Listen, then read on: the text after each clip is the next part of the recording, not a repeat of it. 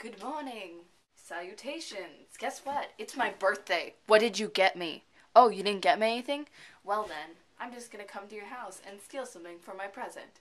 You're welcome. Yeah, see what you made me do? You made me rob you. Yeah, that's what you get. Yeah, I hope you miss your socks. I really hope you do. Itchy nose. Itchy nose. Uh, what was we supposed to talk about for this? Hmm. Oh yes, embarrassing moments. Ow. Oh, I don't know you saw that, but I just like hit my knuckle against the table and it just totally cracked. Did you know? I just found this out today. Did you know that um, when you're cracking, it's like the air in your bones coming out? Yeah, I didn't know that. What was it? All right, no, focus. Not ADHD time. Focus time. So, the most embarrassing moment of my life. Um, I probably have a more embarrassing one than this, but it's a funny one. And also, I have the memory span of a goldfish, so I don't remember anything past like a year ago. Well, I mean, little things, but you know. um, I don't know why this noise just means. It's like if I, I don't want to argue, so.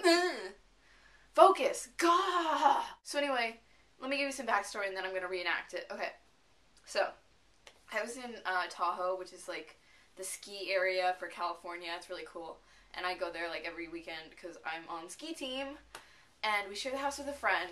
But anyway, so we had two of our friends over, like extra friends, and we were we had gone to the store before and bought sippy cups because I have a weird fixation with like baby stuff, like binkies and sippy cups. Um, Michael Jackson disorder much? Too soon? Um, anyway, God, see how hard it is for me to focus? Ah, what was I talking about? Okay, sippy cups.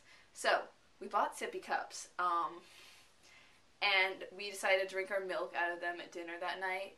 Um, so, I, I'm, I'm just gonna leave it at that. Just, you get to see me reenact. Oh my god. So, sweetie, I heard you put a new video up about Canada.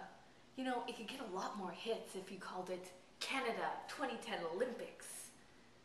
But, Mom, then I'd be lying. I mean, I really want to have integrity on YouTube. I want people to take me seriously. I mean, for my work, my comedy. I don't want them to come and be expecting something and then not see it.